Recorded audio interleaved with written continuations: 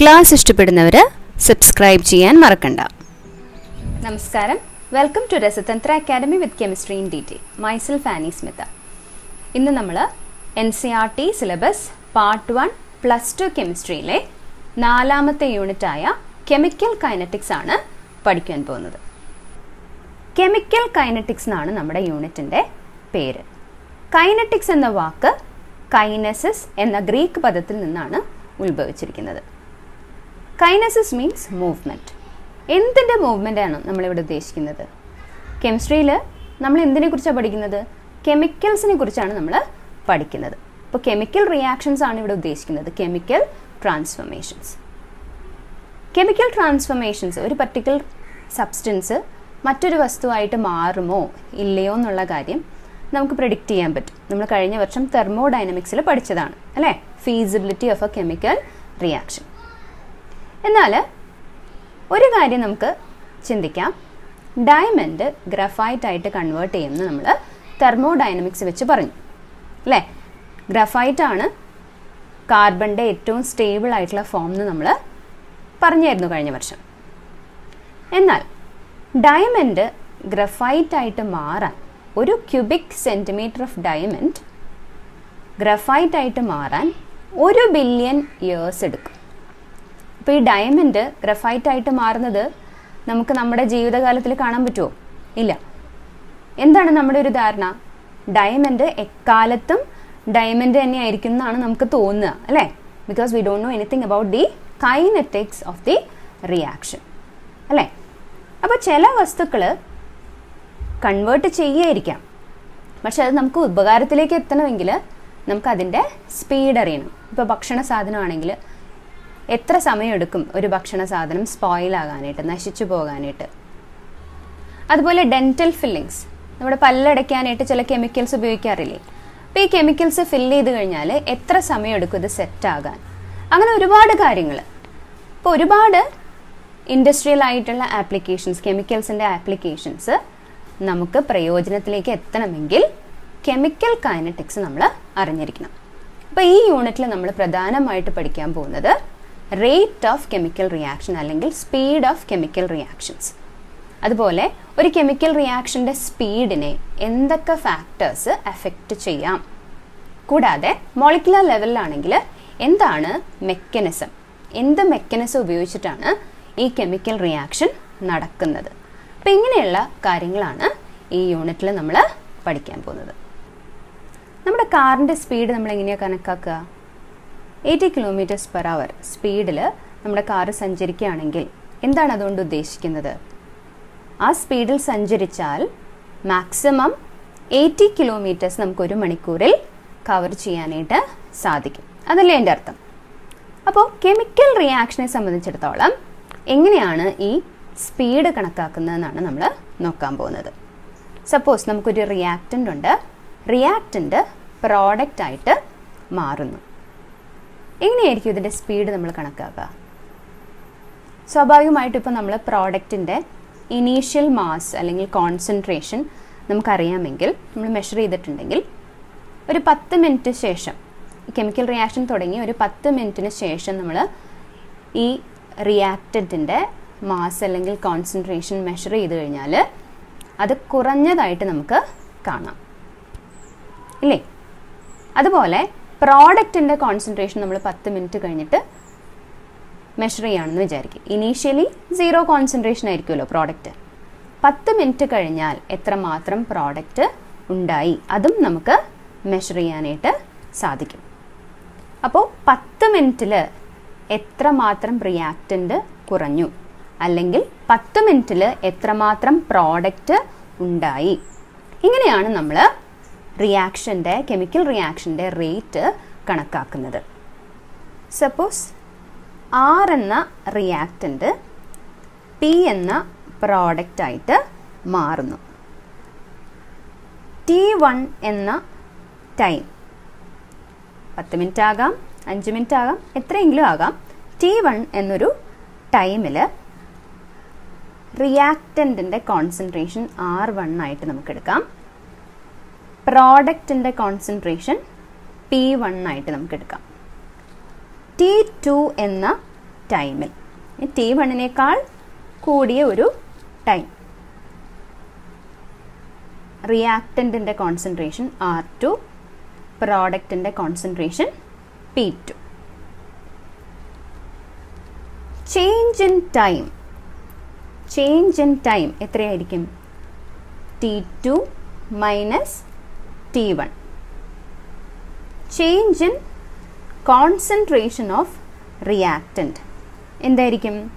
Concentration of reactant at time T two minus concentration of reactant at time T one ഇനി delta P അതായത് change in concentration of product product concentration at T two minus product concentration at time P one ഇതാണ് പ്രോഡക്റ്റിന്റെ കോൺസെൻട്രേഷന്റെ change റേറ്റിന് നമുക്ക് എങ്ങനെ define ചെയ്യാം? Change in concentration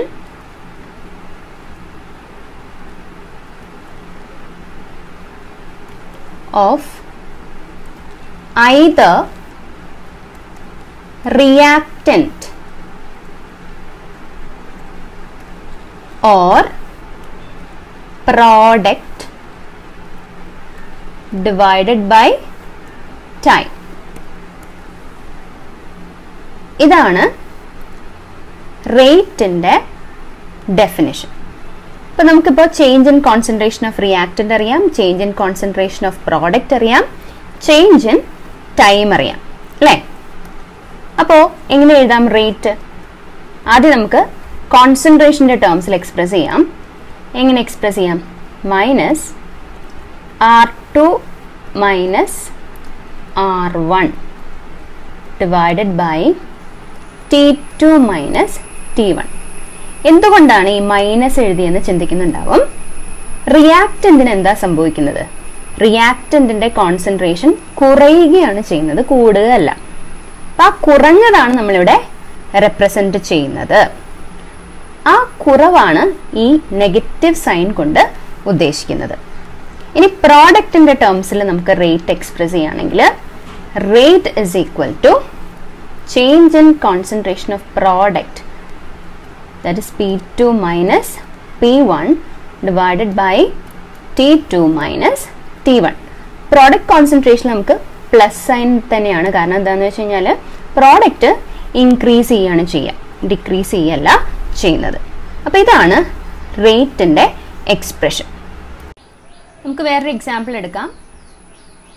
Reactant changing to product one മോളാണ് initial concentration zero moles initial concentration after time five minutes റിയാക്റ്റന്റിന്റെ concentration point five ആയിട്ട് മാറുന്നു. Point five moles ആയിട്ട് മാറുന്നു. പ്രോഡക്റ്റിന്റെ കോൺസെൻട്രേഷൻ പോയിന്റ് ഫൈവ് ആയിട്ട് തന്നെ മാറുന്നു.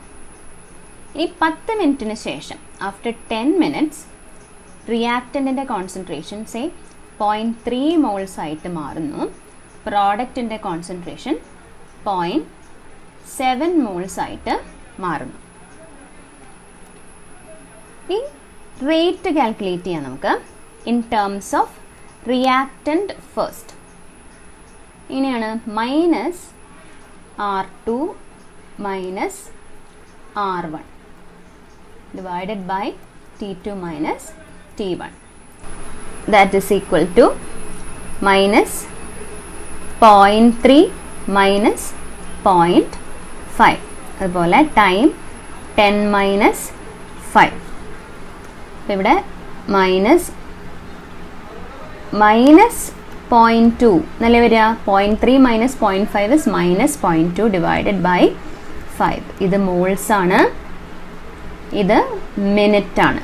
Minus of minus plus you will get plus that is equal to point two moles divided by 5 minutes which is equal to 0.04 moles minute raised to minus 1 this is the rate ഇനി പ്രോഡക്റ്റിന്റെ ടേംസിൽ നമുക്ക് rate calculate ചെയ്യാം rate in terms of product that is P2 minus P1 molar concentration of product divided by T2 minus T1 that is equal to P2 എത്രയായിരുന്നു point seven moles minus point five moles divided by ten minus five that is equal to point two moles divided by five minute which is again equal to 0.04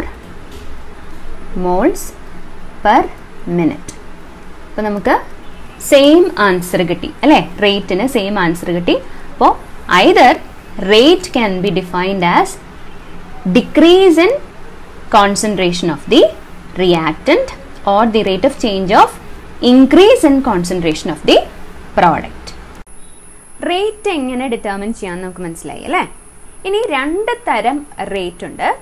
ഒന്ന് average rate മറ്റൊന്ന് instantaneous rate average rate എന്ന് പറയുന്നത് നമ്മൾ നേരത്തെ കണ്ടില്ലേ? എക്സാമ്പിളിൽ കണ്ട പോലെ രണ്ട് ഡിഫറെന്റ് ടൈം ഉണ്ടെങ്കിൽ നമുക്ക് രണ്ട് സമയത്തെയും കോൺസെൻട്രേഷൻ ടേംസ് ആയത് പ്രോഡക്റ്റ് അല്ലെങ്കിൽ റിയാക്റ്റന്റിന്റെ കോൺസെൻട്രേഷൻ ചേഞ്ച് മനസ്സിലാക്കി കഴിഞ്ഞാൽ നമുക്ക് കാൽക്കുലേറ്റ് ചെയ്യാം ആവറേജ് റേറ്റ് പക്ഷെ അത് ആവറേജ് റേറ്റ് ആണ്. ഇനി ഓരോ ഇൻസ്റ്റന്റിലും എത്രമാത്രം കൺവേർഷൻ പ്രോഡക്റ്റ് ആയിട്ട് നടക്കുന്നുണ്ട് എന്നുള്ളത് നമുക്ക് ഇൻസ്റ്റന്റേനിയസ് റേറ്റ് വെച്ചിട്ട് മനസ്സിലാക്കാം. ഈ ഗ്രാഫിൽ വൈ ആക്സിസിൽ കോൺസെൻട്രേഷൻ ഓഫ് റിയാക്റ്റൻസും എക്സ് ആക്സിസിൽ ടൈമും കാണിച്ചിട്ടുണ്ട്. ഇത് സീറോ ടൈമാണ് ഇനീഷ്യൽ കോൺസെൻട്രേഷൻ ആർ സീറോയാണ് അപ്പോൾ ടൈം കൂടുന്തോറും റിയാക്റ്റന്റിന്റെ കോൺസെൻട്രേഷൻ ഡിക്രീസ് ചെയ്യണം. അതുകൊണ്ടാണ് ഇതിങ്ങനെ താഴോട്ട് കർവ് ചെയ്യുന്നത്. നമുക്ക് ടി വൺ എന്ന ടൈം ഇവിടെ കൊടുത്തിട്ടുണ്ട്. ടി വൺ എന്ന ടൈമിൽ റിയാക്റ്റന്റ് കോൺസെൻട്രേഷൻ എത്രയാണ്? അതിന് കറസ്പോണ്ടിങ് ആയിട്ട് നമ്മളിവിടെ മാർക്ക് ചെയ്തിട്ട് അത് ബാക്ക്വേർഡ് എക്സ്ട്രാപ്പുലേറ്റ് ചെയ്ത് കഴിഞ്ഞാൽ ആർ വൺ കിട്ടും. ടി ടു എന്ന ടൈമിൽ ഈ കേവിൽ ഇതാണ് പോയിന്റ് അതിനെ ബാക്ക്വേർഡ് എക്സ്ട്രാപ്പുലേറ്റ് ചെയ്ത് കഴിഞ്ഞാൽ ആർ ടു എന്ന പോയിന്റ് കിട്ടും. അപ്പോൾ അതിവിടെ നമ്മൾ സബ്സ്റ്റിറ്റ്യൂട്ട് ചെയ്ത് കഴിഞ്ഞ് കഴിഞ്ഞാൽ നമുക്ക് ആവറേജ് റേറ്റ് കിട്ടും. T two minus T one subtract ചെയ്ത് കഴിഞ്ഞാൽ ഇനി ഇൻസ്റ്റന്റേനിയസ് റേറ്റ് ഇൻസ്റ്റന്റേനിയസ് റേറ്റ് കാണാൻ ഈ കേർവിലെ ഏതെങ്കിലും ഒരു പോയിന്റ് എടുക്കാം നമ്മൾ.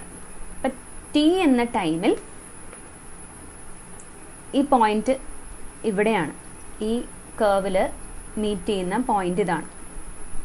ആ പോയിന്റിൽ നമ്മൾ എന്ത് ചെയ്യും? ഒരു ടാൻജന്റ് വരയ്ക്കും. എന്താണ് ടാൻജന്റ് ഒക്കെ നിങ്ങൾക്ക് അറിയാം. മാത്സിൽ നിങ്ങൾ പഠിച്ചിട്ടുണ്ട്. അപ്പം ഈ ടാൻജന്റ് വരച്ചിട്ട് ഈ ടാൻജന്റിന് നമ്മൾ ഒരു ട്രയാങ്കിൾ വരയ്ക്കും. ടാൻജന്റിനെ തേർഡ് സൈഡ് ആക്കിയിട്ട്. എന്നിട്ട് ഈ ഡിസ്റ്റൻസ് ഡി ടി എന്നും ഈ ഡിസ്റ്റൻസ് ഡി ആർ എന്നും മെഷർ ചെയ്യും. ഇപ്പോൾ റേറ്റ് ഇൻസ്റ്റന്റേനിയസ് എന്ന് പറയുന്നത് minus D R by D T minus എന്തുകൊണ്ടാണ് റിയാക്റ്റന്റിന്റെ കോൺസെൻട്രേഷൻ ഡിക്രീസ് ചെയ്യുന്നത് കൊണ്ട്. ഈ കർവിന്റെ സ്ലോപ്പ് കാണുന്നതും നമ്മൾ ടാൻജന്റ് വരച്ച് തന്നെയാണ്. അപ്പോൾ നമുക്കിതിനെ മൈനസ് സ്ലോപ്പ് എന്നും കൂടെ പറയാം. Minus because the reactant concentration is decreasing ഇത് പ്രോഡക്റ്റിന്റെ ടേംസിലുള്ള ഗ്രാഫാണ്. കണ്ടോ? പ്രോഡക്റ്റ് കോൺസെൻട്രേഷൻ ഇങ്ങനെയാണ് സ്ലോപ്പ് ചെയ്യുന്നത്. ഇൻക്രീസ് ചെയ്യാണ് അല്ലേ? സീറോ കോൺസെൻട്രേഷനിൽ നിന്നും ഇൻക്രീസ് ചെയ്യാണ് അപ്പോൾ ഇവിടെയും ഇൻസ്റ്റന്റേനിയസ് റേറ്റും ആവറേജ് റേറ്റും റെപ്രസെന്റ് ചെയ്തിട്ടുണ്ട്. ഈ കർവിൽ P two minus P one by T two minus P one അതാണ് ആവറേജ് റേറ്റ് നേരത്തെ കണ്ട പോലെ തന്നെ പി ടു എന്ന കോൺസെൻട്രേഷൻ ടി ടു എന്ന ടൈമിൽ ടി വൺ എന്ന ടൈമിൽ പി വൺ എന്ന concentration change in product concentration divide by change in time ഇനി ഇൻസ്റ്റന്റേനിയസ് റേറ്റ് ഇതുപോലെ തന്നെ ടി എന്ന ടൈമിൽ ഈ ഗ്രാഫിലുള്ള ഈ കേർവിലുള്ള പോയിന്റിൽ ഒരു ടാൻജന്റ് വരയ്ക്കും. അതിന്റെ സ്ലോപ്പ് എടുക്കും. സ്ലോപ്പ് ഇവിടെ പോസിറ്റീവ് തന്നെയാണ്. കാരണം പ്രോഡക്റ്റ് കോൺസെൻട്രേഷൻ ഇസ് ഇൻക്രീസിങ് അപ്പോൾ എന്താണ് കെമിക്കൽ കൈനറ്റിക്സ് അതിന്റെ ഉപയോഗം എന്താണ്? റേറ്റ് ഓഫ് എ റിയാക്ഷൻ കൊണ്ട് ഉദ്ദേശിക്കുന്നത് എന്താണ്? അത് എങ്ങനെയെല്ലാം ഡിറ്റർമിൻ ചെയ്യാം? ഇൻസ്റ്റന്റേനിയസ് റേറ്റ് ആവറേജ് റേറ്റ് അപ്പോൾ നന്നായിട്ട് പഠിക്കുക. അടുത്ത ക്ലാസ്സിൽ വീണ്ടും കാണാം. Thank you subscribe to this channel for real time video updates